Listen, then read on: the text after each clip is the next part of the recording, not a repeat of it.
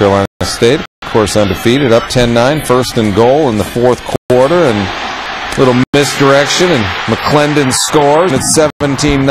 Looks like North Carolina State's going to add another win to its column. But here comes A.J. Suggs with the touchdown pass, two-pointer. We're tied at 17, and then under 10 minutes left, Tech. Gordon Clinkscale pulls a Marcus Allen, reverses field.